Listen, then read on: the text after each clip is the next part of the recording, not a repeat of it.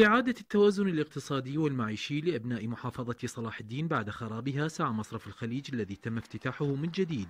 إلى إنعاش اقتصاد المواطن بجملة من العروض التي تخدم واقعه وواقع المحافظة. هدفنا الرئيسي هو توفير فرص عمل المن للخريجين الكليات وللعاطلين عن العمل من خلال منحهم بعض القروض الصغيرة والمتوسطة إن شاء الله وحسب الظروف المتاحة للمصرف والمتاحة للزبون. رسوم كلش رمزية، هناك حساب توفير للأطفال، يمكن هذا الحساب ما به اي فوائد، مجرد إنه نفتح حساب بالبراعم، حساب يفيد الطفل وتوفير بنفس الوقت. خطوة إيجابية تعتبر للطبقة المسحوقة اللي مثل ما تعرف جنابك إنه بعد احداث داعش الناس يعني إجت على واقع مدمر. إذا كان في المنازل أو حتى في المصارف أو حتى في الدور أو الأسواق أو المحلات فاليوم أكيد آه، عندما ينفتح مثل هكذا مصرف استثماري في محافظة صلاح الدين بفوائد أو قروض بسيطة جدا بالإمكان أنه المواطن يقدر يستفاد من عندها اليوم الإجراءات الحكومية أكيد إجراءات صعبة ويعني و... صعبة بالمعاملة وبالحصول على هكذا قروض.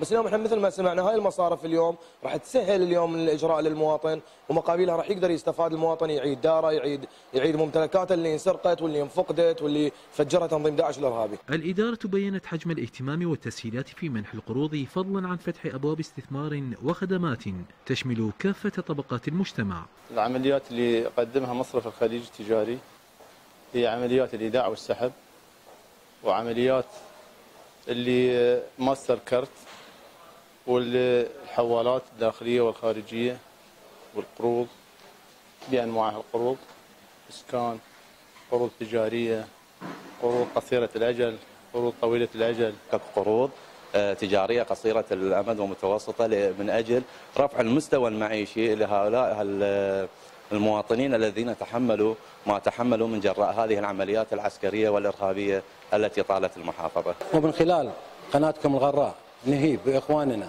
المقترضين الذين بذمتهم استحقاقات لمصرف الخليج التجاري فرع تكريت الإسراع بتسديد ما بذمتهم. الحرص على إنعاش وضع المواطن وترميم واقعه أمر عزم عليه مصرف الخليج بمختلف المجالات. جميل الغزالي قناة رشيد الفضائية محافظة صلاح الدين.